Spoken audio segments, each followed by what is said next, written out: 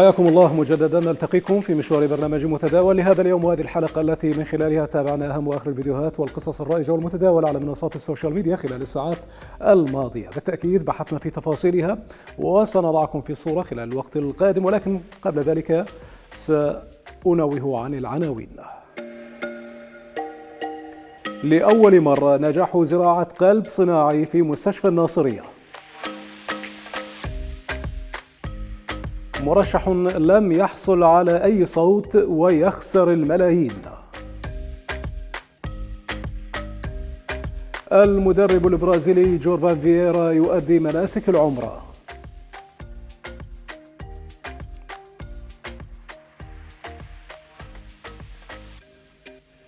لأول مرة نجاح عملية زراعة قلب صناعي في العراق. خبر سار أحدث ضجة كبيرة في منصات التواصل الاجتماعي. تصدر المواقع الإلكترونية ووسائل الإعلام. فما تفاصيله؟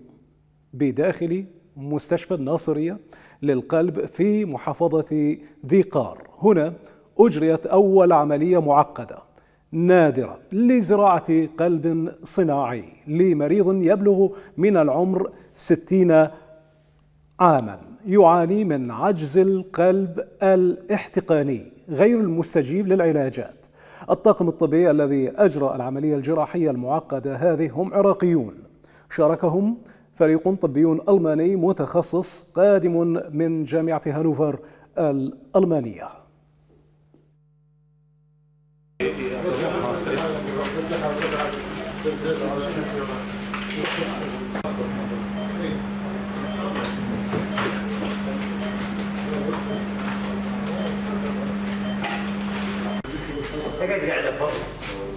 一个。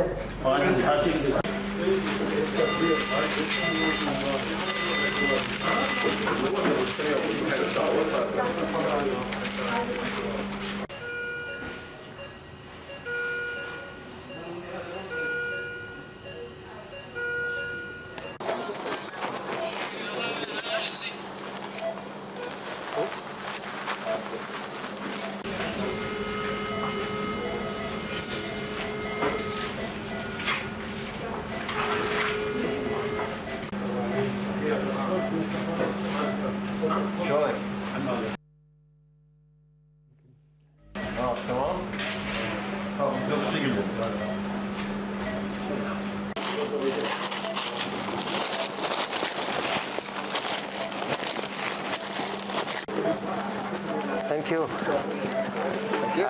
Happy to uh, stand front you?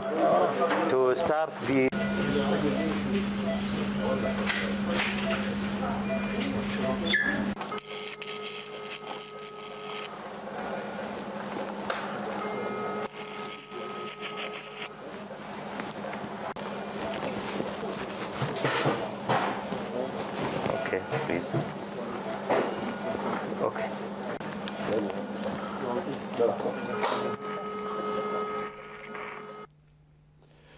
العملية التي أشرف عليها فريق متخصص تكللت بالنجاح ووفقا لبيان رسمي لوزارة الصحة العراقية جرى توفير أربعة أجهزة أجهزة قلب صناعي واختيار وتهيئة المرضى الملائمين للإجراء لإجراء هكذا نوع من العمليات الصعبة.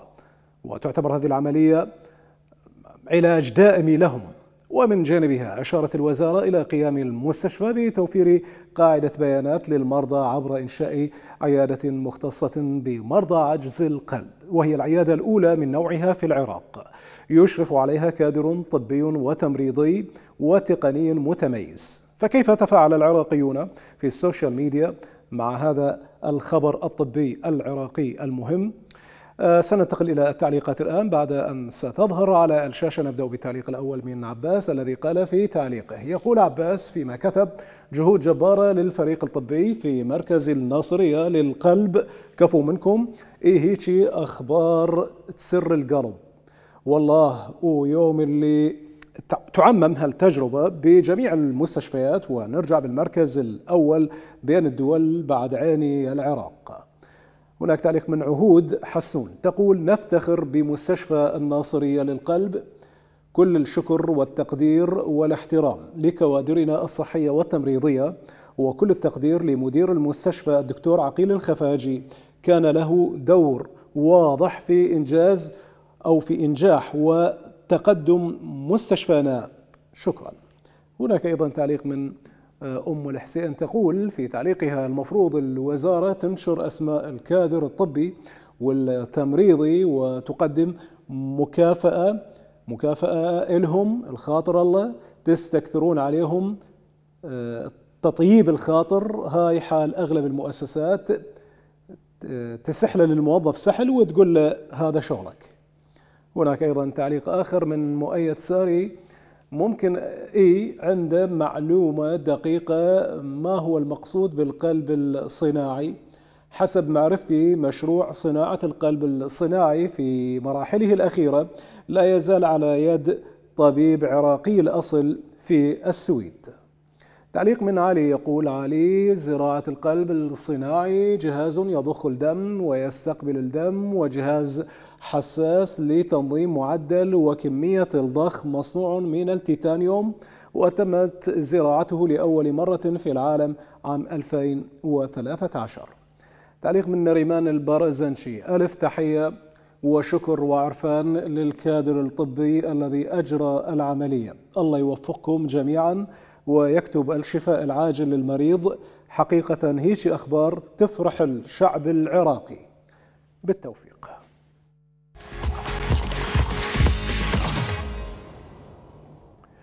أيام صعبة ووصفت بالمخاض العسير يعيشها المرشحون الخاسرون ممن لم يحالفهم الحظ بالفوز في انتخابات مجالس المحافظات.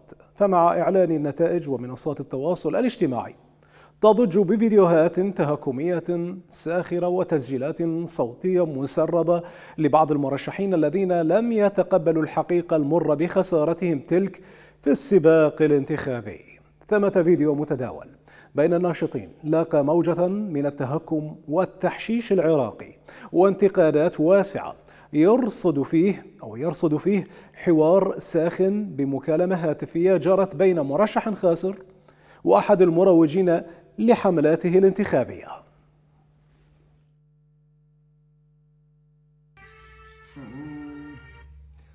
أهلا أستاذ حيدر.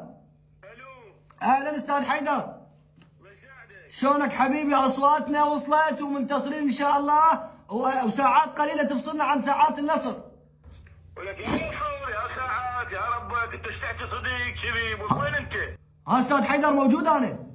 أتصل عليك من البارحة لليوم. خرب لا تخليني هسه اقوم أكفر دفن. من البارحة لليوم أتصل عليك ما تجاوبني أستاذ حيدر ملتي أروج للحملة الانتخابية مال حضرتك.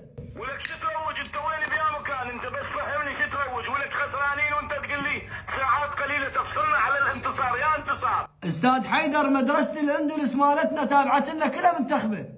ولك إيش كذا منتخبة؟ وين مدرسه الأندلس هاي؟ وين وين؟ ما تقول لي وين.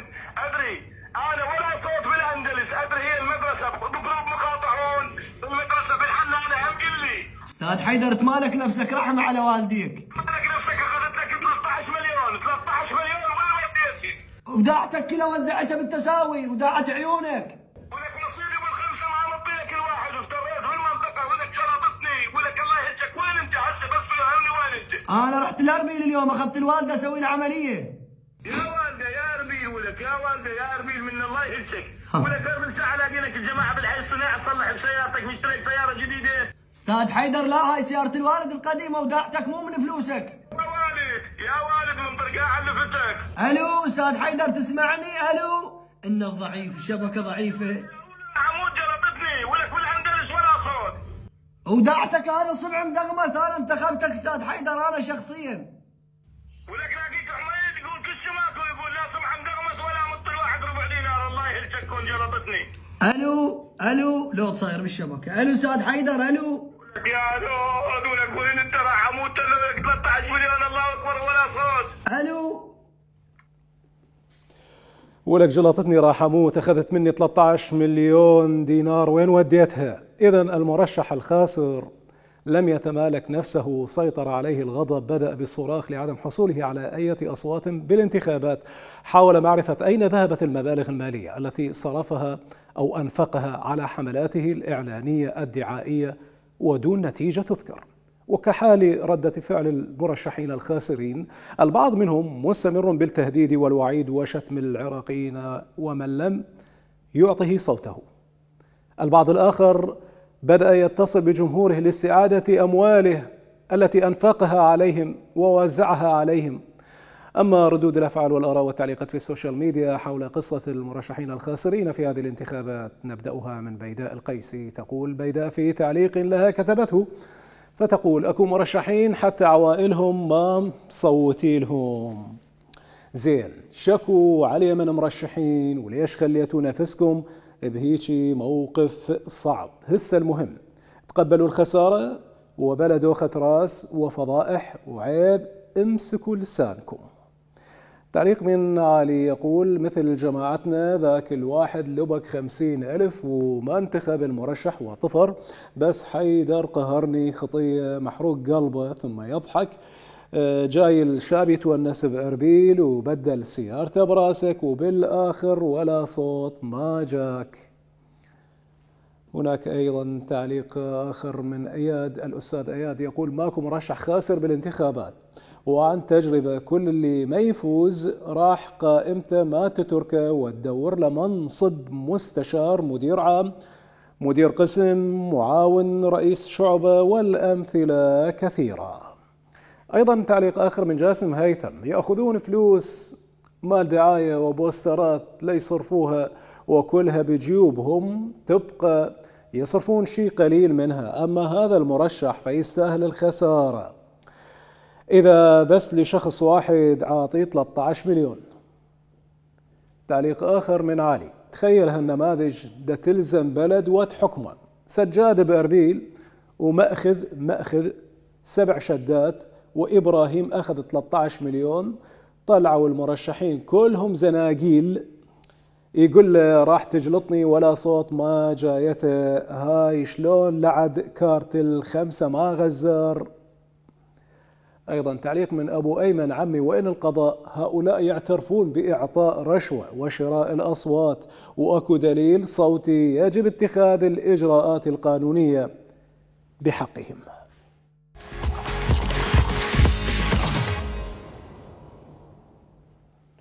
أدى المدرب البرازيلي جورفان فييرا مدرب المنتخب الوطني العراقي وبطل كأس آسيا عام 2007 أدى يوم أمس مناسك العمرة وشارك فييرا الذي يدرب الفريق الأول لكرة القدم بنادي السيب العماني. حاليا شارك صورته من أمام الكعبة المشرفة وتداولت منصات التواصل الاجتماعي مقاطع فيديو وصورا لفييرا في أثناء مناسك العمرة.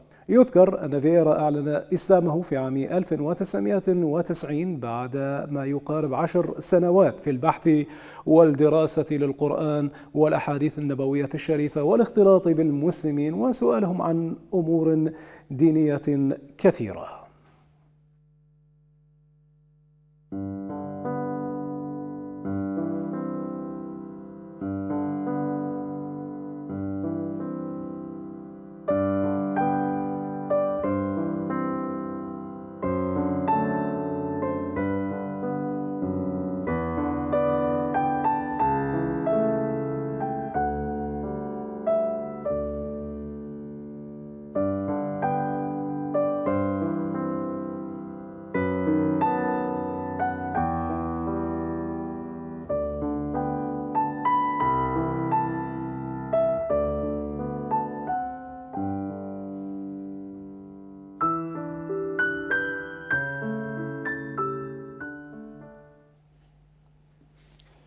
الغريب أن جورفان فيرا قبل سنة 1990 قال إنه كان لا يؤمن أصلا بالأديان ولا بوجود إله لكن بعد إسلامه شعر بالنور الكامل ولا زال إلى يومنا هذا مسلم ملتزم بعباداته وطقوسه. أما التعليقات والآراء وردود الأفعال التي كتبت في منصات التواصل الاجتماعي حيث نشرت مقاطع الفيديو هذه لجورفان فييرا وهو يؤدي مناسك العمرة كانت كالتالي. اخترنا طبعا نماذج من تلك التعليقات والآراء الواردة وسنقرأها الآن بعد أن تظهر على الشاشة. نبدأ من تعليق آه، أول من كاظم قاسم. يقول القلادة اللي لابسها تشير للعراق من سنة 2007 وهي في رقبته. مدرب له احترام ومحبة كبيرة جدا في العراق. نعتبره واحد من عندنا خصوصا بعد ما افتتح ملعب كربلاء الدولي وأنا آه، شاهد التواضع والمحبة المتبادلة. هناك أيضا تعليق آخر من مهدي يقول في تعليقه مهدي جرد القفاري يقول عمي خلف الله عليك فييرا جبت لنا كأس آسيا وعمرة مقبولة إن شاء الله. تعليق من محمد يقول محمد آه عميد حسين يقول في تعليقه مغربي الجنسية وليس العراقية هو من أصول برازيلية وزوجته مغربية واستسلم يعني وأسلم. هناك أيضا تعليق من محمد. إنسان بسيط وطيب وحب العراق والشعب العراقي فهو بتصرفات المسلم الحقيقي وإن لم يسم صحة والعافية لهذا الرجل الذي جلب الفرحة للعراق ويستاهل الجنسية. تعليق من محمد الكردي يقول هذا الشخص الله حبه وهداه للإسلام الله يوفقه إنسان شريف ونظيف وأخلاق. هناك تعليق من عادل عيد هو مسلم من زمان من أيام تدريب منتخب العراق وهو برازيلي مش برتغالي. المهم أنه مسلم ما شاء الله تبارك الله. من قصة جورفان فييرا وهو يؤدي مناسك العمرة. الكعبة المشرفة. نذهب إلى مجموعة من الأحداث والقصص المتداولة والرائجة على منصات ال social media والتي أيضا أحدثت بلبلة وضجة وجدالا انتقيناها لنخوض في تفاصيلها لكن دعوني أيضا أبدأ بعناوينها. بمساعدة رجلين أب يخطف ابنتيه بعد تخديرهما في مصعد. لو تصيرين زليخة هم يخونج منتسب يوجه رسالة للنساء. طفل فلسطيني يفقد القدرة على الكلام خوفا من القصف.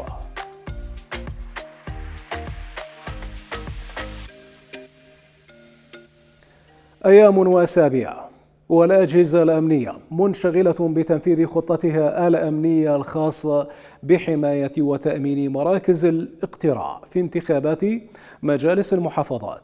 فمع دخول القطاعات العسكرية حالة الإنذار القصوى جيم ألزم الجميع بالدوام بشكل مستمر فلم يسمح لهم بالغياب ولا التمتع بالإجازة لكن ما أن انتهت العملية الانتخابية وأدوا المهمة بنجاح أو المهمة بنجاح وتفان تم رفع حالة التأهب وأعيد كل شيء إلى نصابه. هناك فيديو متداول لمنتسب أمني وهو يستعد للنزول بعد معاناة وغياب دام قرابة الخمسة وعشرين يوما. أحب أن يوجه رسالة إلى زوجته وإلى النساء المتزوجات من العسكري بشكل عام وهو يحدثهم بمنتهى الصراحة والجرأة.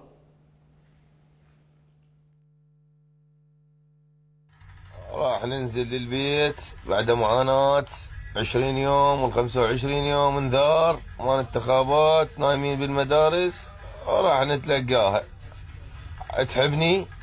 اشتاقت لي. فراقي صعب عليك. لا فراقي صعب ولا هاي كفيلك الله. هاي الكلمة عندها شو اسمه عسكري ها؟ ما رقم له وحده أخذ له رقمه من الحائط. على الوسيلة الثانية الما أخذ له رقمه من الحائط أخذ له يوزر. وما شاء الله بالمدارس قال يوزرات على الحائط؟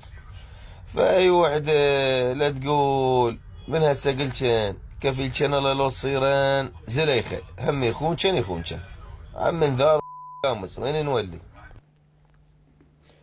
كفيل كان الله لو تصيرن زليخه ألا يخونش؟ يخونش. المنتسب فضح نفسه وزملائه وكشف لزوجاتهم ما الذي فعله البعض منهم طبعا وليس الجميع عندما تسلموا المدارس. أي مراكز الاقتراع الانتخابية مؤكدا أنهم قضوا أوقاتا ممتعة بعيدا عنهن وبحثوا لهم عن صداقات جديدة مع الجنس اللطيف. على ما يبدو أن المنتسب يريد بشكل أو بآخر أن يشعل فتنة كبيرة باعترافه الخطير هذا الذي لاقى كما من الانتقادات وردود الأفعال والتشكيك. بعدد من ردود الأفعال والآراء والتعليقات المكتوبة على منصات التواصل انتقينا لكم منها بعضا من تلك الآراء والتعليقات. هنا تعليق من أحمد. الله يكون بعونكم. الصراحة تقرأ ألف. إيش قد أنت فاعل خير؟ ليش هيك تنطي بجماعتك إذا الله ساترك تفضح روحك. ليش؟ وشنو ذنب جماعتك؟ نازلين يرتاحون لو تسوي لهم طلايب. اقعد راحة. تعليق آخر ومداخلة أخرى من من هذه المرة من سارة ليث. ماذا قالت لنا ولكم سارة ليث في كتاب في كتابتها هذا التعليق؟ تقول وأنا اللي عندي اتصل عليه ويقول لي مشغول بالمراقبة والتفتيش. والقائد فوق رأسي طلعت هاي تاليها قاضيها وانسى وكيف وصداقات واني الوقت كله بالبيت محبوسة مع الجهال بسيطة. تعليق آخر من أبو جمانة يقول أبو جمانة كفيلك الله. رأسنا محكينا رأسنا ما حكينا. رأسنا ما حكينا ونوم ما شابعين. دق واجبات هي مال ترقيم. احكي عن نفسك. آني ما أخذت بس رقم الفراشه الله وكيلك. تعليق آخر من نور الهدى. هاي شنو؟ صدوق هيك قضيتوها والله إذا أفتش بموبايل زوجي المنتسب وبي رقم بنيه إلا أقلب الدنيا عليه وإلا أقعد له بالبيت. ثانية ثانيا عود خلي ثاني شيء. اي ولا أقعد له بالبيت ثاني عود خلي تفيده صاحباته. تعليق من شاهين العبيدي اللي عندي أخليها تاج على راسي ومستحيل أخونها. هاي أم جهالي. وبيتي وما أبدلها بكل يوزرات البنات ولا بأرقامهن. وعيونك كان كل همي شلون راح تقضي فترة الانتخابات والحمد لله عدت. حازم الخفاجي يقول كل شخص يعمل بأصله وتربيته ومو صحيح كلامك. كل من يراه الناس بعين طبعة والشاب يعكس أخلاقه وتربيته. بهالوقت هو يمثل نفسه وشخصيته قدام العالم.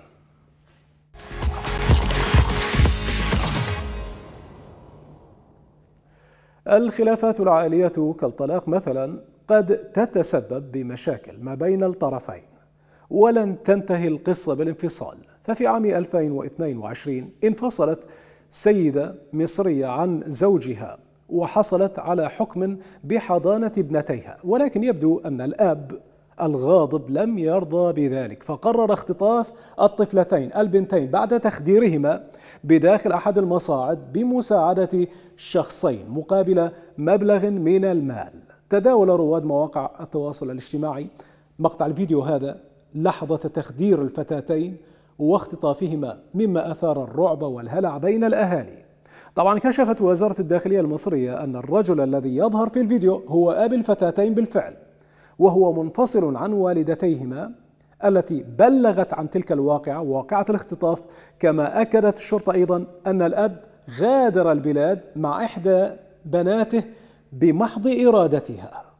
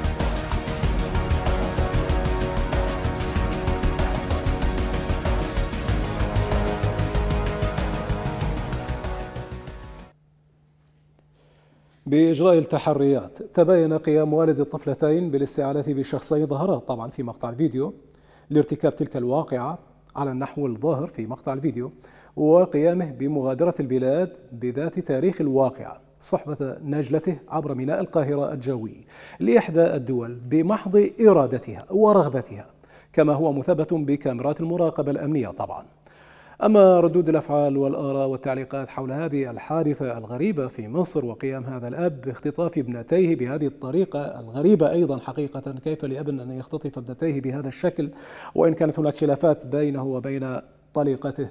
التعليقات كانت كثيرة. نبدأ من ميناس طارق يقول في تعليقه كفاية نشر الفيديو الداخلية حققت فيه وطلع أبوهم ومعاه اثنين مأجرهم بالفلوس. كفاية تبث الرعب في قلوب الناس. هناك أيضا مداخلة وتعليق من يسري والله حناخذ فكرة عاطلة عن المصريين. أدمع منشوف مظاهر عنف وقتل واختطاف وجرائم. قاتل زوجته غسل شرفه قاتل خطيبته قاتل وحده بيحبها رفضته. اغتصابات متنوعة. هناك أيضا تعليق آخر من روان. روان سمير تقول حسبي الله ونعم الوكيل فيه. كيف بيهون عليه يعيش بناته بهيك موقف مرعب؟ هناك أيضا مداخلة أخرى من نورا تقول الأب المريض الذي يعرض بناته أو يعرض بناته لموقف مرعب لا يمكن ينسوه طول حياتهم. أكيد أنه ما يعرف أي شيء عن الأخلاق والتربية والإنسانية. وحش. همه الوحيد الانتصار بأي شكل. تعليق من كوكي تقول في تعليقها كوكي أوزدمير تقول كيف يقبل أب أن تعيش بناته؟ هكذا موقف صعب يؤثر على نفسيتهن وعلى صحتهن النفسية في المستقبل. حسبنا الله ونعم الوكيل. تعليق من أمنية الشاذلي سيظهر تعليق أمنية. أمنية الشاذلي قالت في تعليقها الأب لازم يشوف ولاده وقت ما يحب وياخذهم لو عاوز ويصرف على أولاده من سعته. وكل أم أم لازم تكون عارفة أنه الواحد آه، دول أمانة ومصيرهم لباباهم ومصيرهم لباباهم وتتقبل ده وما تقطعش رحمهم.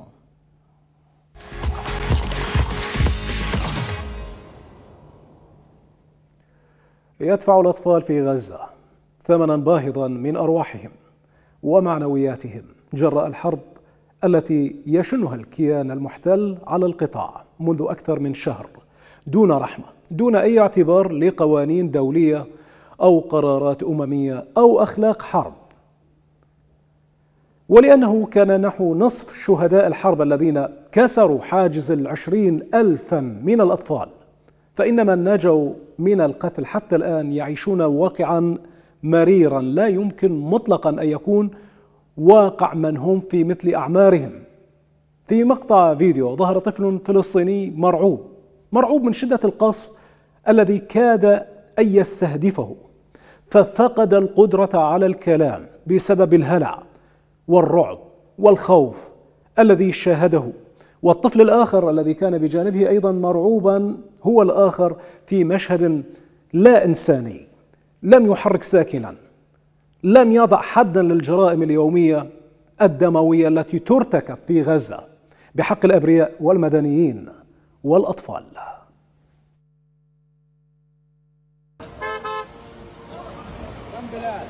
إيش مالك؟ إيش مالك احكي قصر؟ انت وين؟ عودة سكت العودة؟ بدك تروح؟ وانت يا حبيبي مالك قاعدة؟ ماشي هم صار يقصفوا حبيبي معلش يا حبيبي يلا سكت القصر ارتاح إيش سوى حبيبي؟ خافش انت بطل انت إيش؟ انت إيش؟ بطل. يلا يا حبيبي. خافش يلا.